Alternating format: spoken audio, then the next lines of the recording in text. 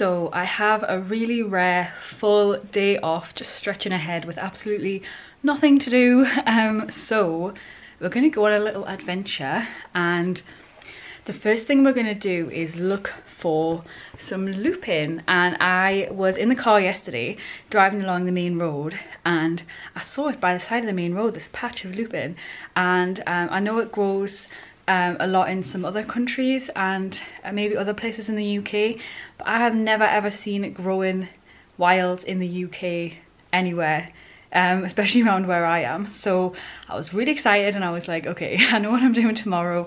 I'm gonna go and have a look for this lupin.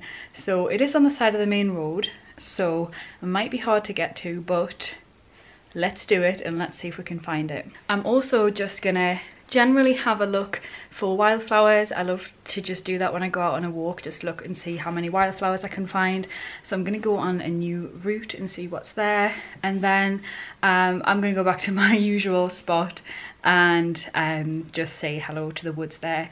And one of the things that I would like to start today is I really want to make a big like herbal grimoire, like a Medica materia type thing with like pressings of um, herbs and just loads of different writings about them, stuff that I do with them, recipes, that kind of thing. So I'm gonna go out today and just whatever I come across that would be good in there I'm gonna take so I can make some pressings.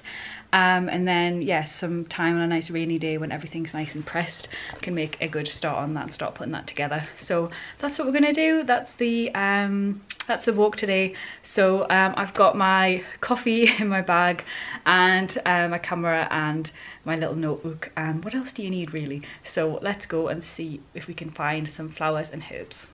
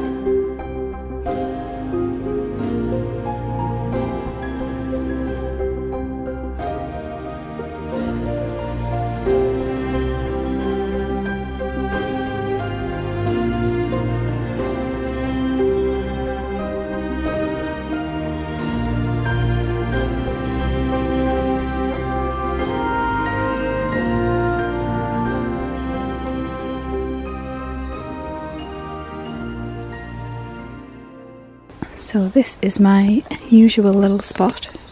And it's so quiet today I feel bad even speaking and making noise. Um, but it's just this broken tree and there used to be an animal skull underneath it. Um, and I don't know I just feel like it's such a little special place. And this is where I was sitting when I saw the hare and the weasel. And when the hare came up really close um, I'll put a link to that video above in case you haven't seen it because I did incredibly manage to get it on a video um, but that's why I just think this space is really magical and I love being here.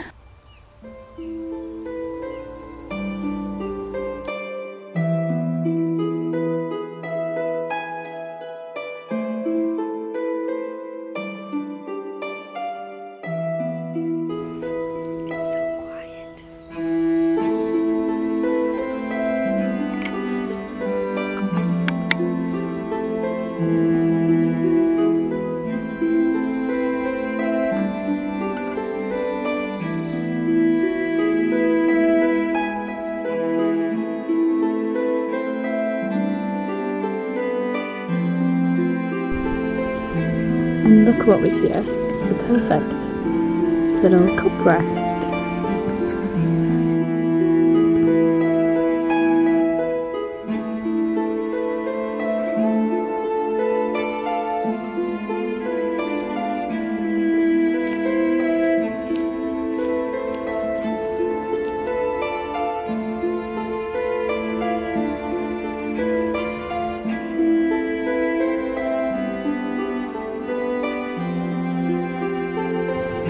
Cannot tell me that this is not a fairy door.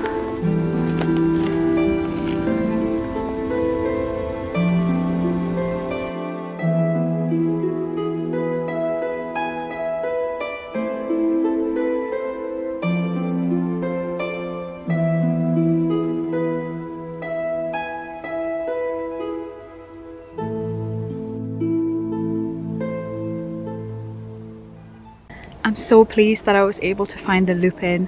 It's so beautiful and magical and I just wasn't expecting to see it at all. So I'm really glad that we were able to get to it in the end. And um, I actually saw a flower that I'd never ever seen before and I was just stopping to take a picture of it so I could look it up when I got in. And this man stopped and got off his bike and he was like oh what are you taking a picture of? So I just said this flower I don't know what it is. Um, and then he had like some kind of new phone where you can just um, just in one button reverse Google image search. So he could just search it online. Um, so he took a picture of it and he was like oh it's so beautiful. Um, and then we looked it up and it was broad-leaved marsh orchid. So it was a type of orchid. I've never seen that before ever um, and he was like oh this isn't my usual way. Usually I stop a little bit further back but I thought you know what I'll just do a bit more today. And I was like this isn't my usual way as well. So yeah it was nice that we both stopped and he was like oh, I'm really glad I came this way now because I've seen this flower and seen what you were taking a photo of. So that was like really wholesome actually really nice. Um, so now I'm just back in my usual areas and just having a bit of a wander, saying hello to the woods um, like I do all the time and just, yeah, just being here basically. And I'm gonna, um, I think I'm just gonna get some nettles, some uh, herb robert and see if there's anything else as well. And then I've got some stuff in the garden that I can press um, to put in the grimoire. And by the way, I only take a plant where there's an abundance of it, so it's grown like all in here, all along here, and then miles along there, so there's a lot of it around. Um, and I always ask before I take, so you can just ask the plant out loud or in your head, and if you um, get any feeling that it doesn't want you to take it, then just leave it. Um, and it's just really about listening, really, and seeing what it's got to say.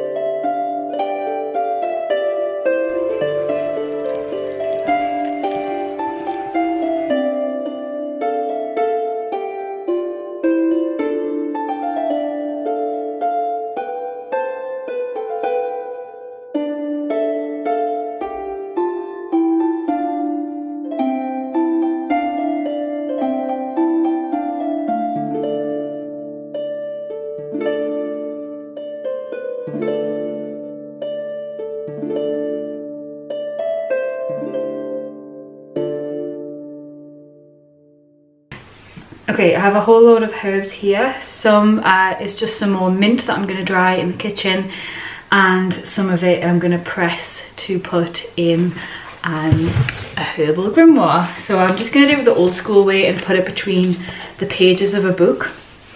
Also, how unusual is this book? I found it in the charity shop about 10 years ago. Um, it's like fairy outfits made of like feathers and stuff. Anyway, it's going in this. And I've got this um, like newsprint paper, so it's very thin.